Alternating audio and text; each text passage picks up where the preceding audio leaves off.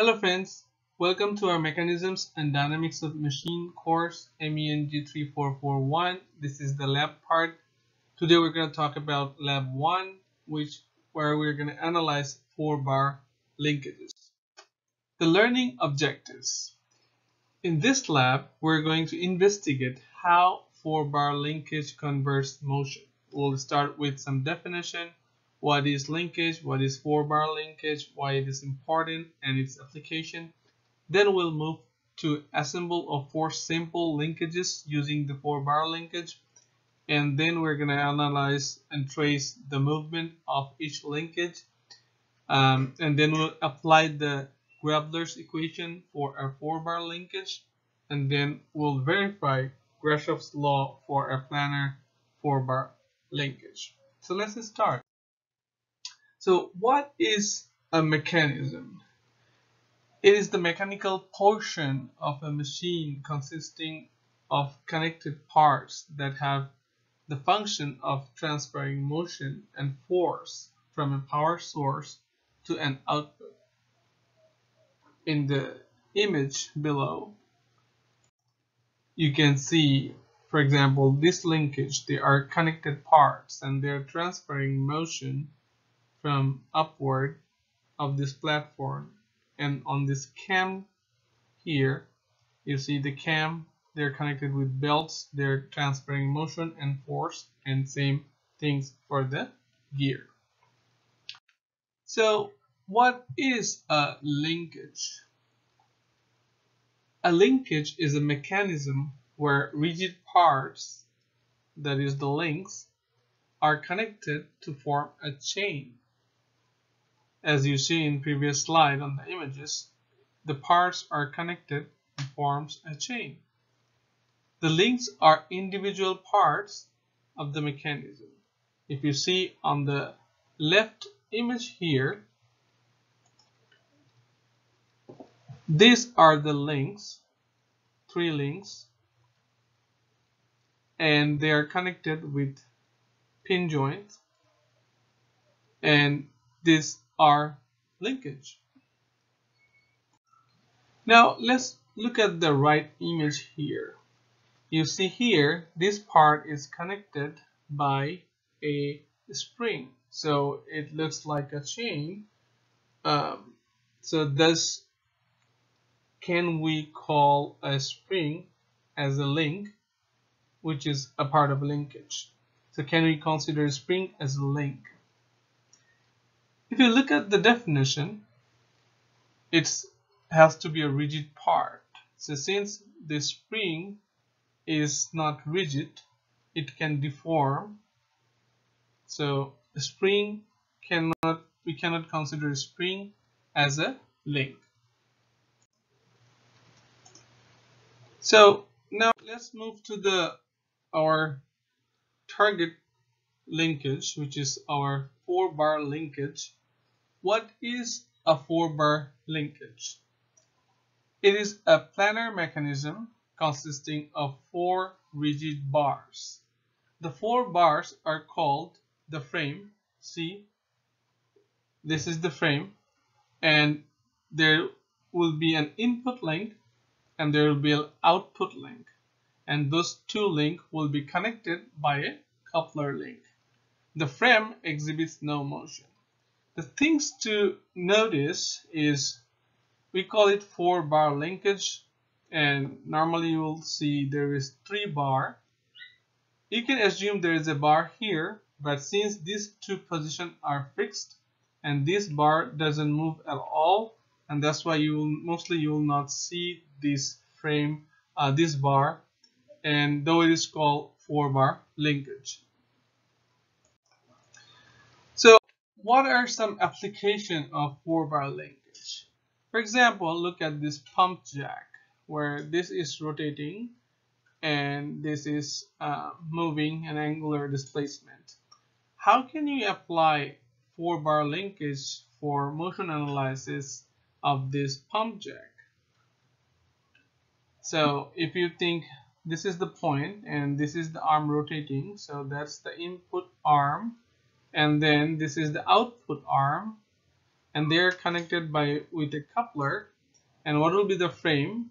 This will not be the frame. The frame if you remember in the previous slide the frame doesn't move. So we don't need a visible physical bar here. So the frame would be um, non-visible. It, it doesn't have to be existing physically. So that will be the frame part.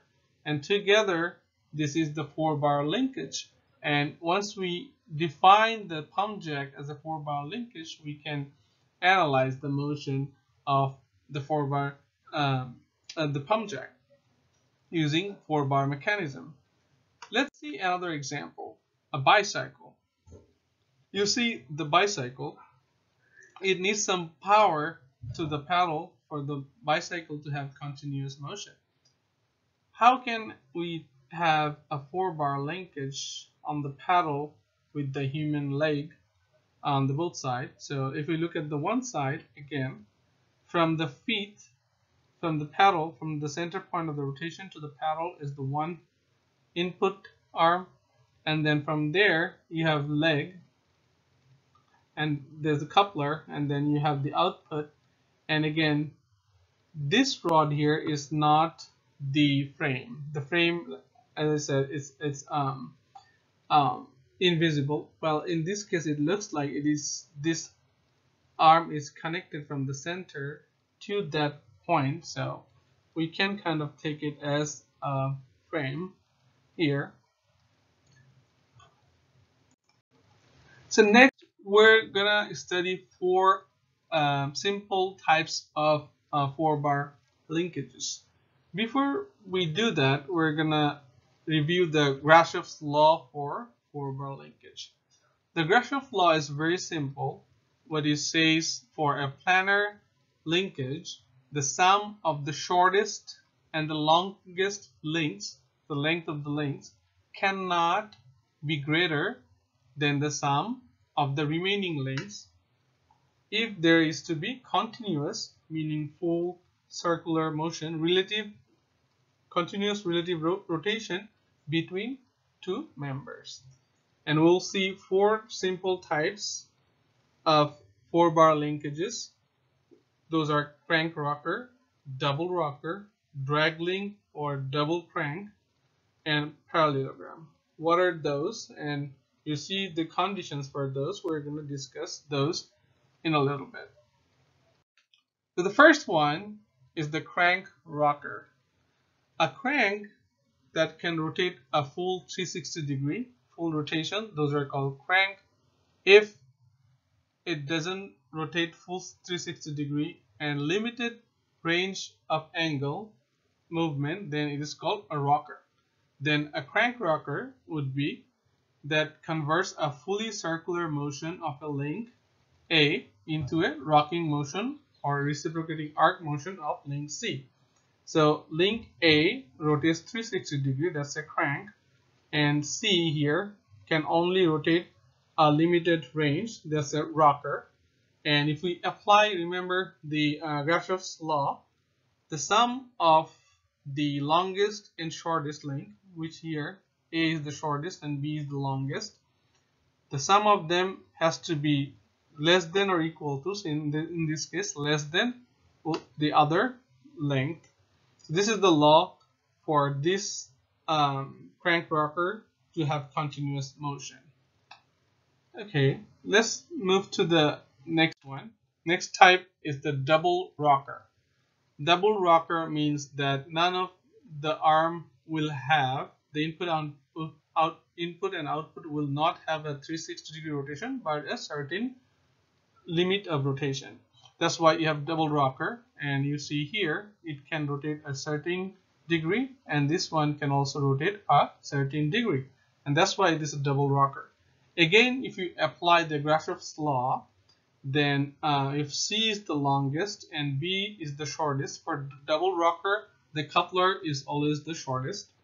And if you sum the length of B and C it will be always shorter than the other two arm again I put it in a dot mark because uh, we don't need a physical frame here but you know the length of the fixed point that is the length of the frame the fourth bar of the four bar linkage.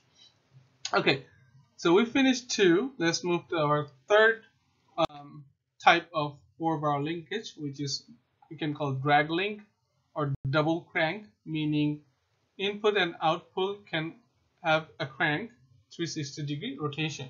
So a drag link converts one fully circular, that means continuous motion, of link A into another fully circular motion of link C with a different radius. Many vehicles uses this linkage in their steering. Again, if we apply the um, the Grashof's law, um, if C is the longest uh, link and D is the shortest link, um, for double crank to happen, this D has to be the shortest. Um, then sum of the A and B or uh, C and D, longest and the shortest, is less than the uh, other sum of the other arm length. We have one more type then we're going to study in this lab which is the parallelogram.